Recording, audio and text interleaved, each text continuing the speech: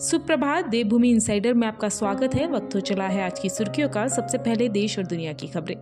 ICC का बड़ा ऐलान, रोहित शर्मा होंगे ICC one day team of the year के कैप्टन असम सीएम का राहुल गांधी के खिलाफ केस दर्ज करने का निर्देश।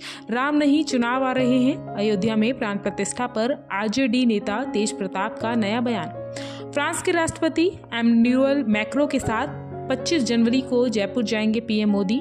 शेयर बाज़ार में भारत बना चौथा सबसे बड़ा बाज़ार, हांगकांग को पछाड़ा। अब खबरें उत्तराखंड से।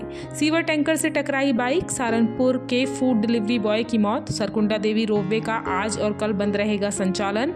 मरम्मत का कार्य जारी। सुबह से रात तक राम भक्ति में डूबा काशीपुर। दिए जलाकर श्री राम का किया स्वागत। मसूरी में मोमबत्ती की आग से घर हुआ खाक। एक घंटे तक जूजी फायर ब्रिगेड की टीम।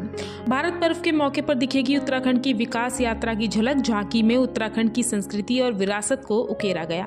तो ये थी आज की सुर्खियाँ। कल फिर मिलेंगे नई सुर्खियों के साथ। तब तक के लिए देखते रहिए देवभूमि इनसाइडर। जय हिंद।